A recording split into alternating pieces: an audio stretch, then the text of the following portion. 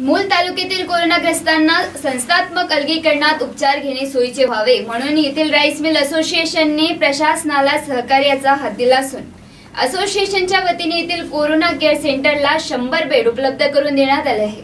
तसेच कोरोना रुग्णा रुग्णांच्या तसेच कोरोना रुग्णांच्या नातलगांना बसण्यासाठी बेंचची व्यवस्थाही असोसिएशनच्या वतीने केल्या गेली आहे. मूल तालुक्यात कोरोनाबाधितांचा वाढता आकडा लक्षात घेता प्रशासनाने संस्थात्मक कोरोना केअर सेंटरमध्ये खाटांच्या संख्येत वाढ करण्याचा निर्णय घेतला आहे.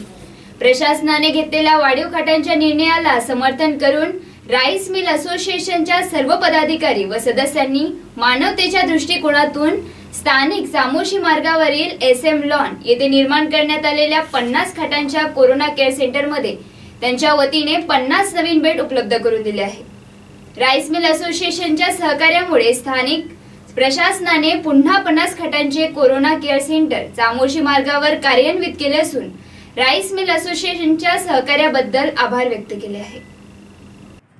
मूल शहरामध्ये कोरोनाचा वाढता प्रादुर्भाव लक्षात घेता प्रशासनाने त्यांना आरोग्याच्या दृष्टिकोनातून विलगीकरणासाठी एस एम लॉन इथे व्यवस्था केली. पण तिथे बेडची व्यवस्था नसल्याने त्यांनी राईस मिल असोसिएशन यांच्याकडे बेडची थोडी व्यवस्था करा अशी विनंती केली. त्या अनुषंगाने आमचे राईस मिल असोसिएशनचं संपूर्ण मंडळ आणि सर्व पदाधिकारी आणि सदस्यगण यांनी तात्काळ मिटिंग घेतली आणि पन्नास बेड त्यांना उपलब्ध करून दिले.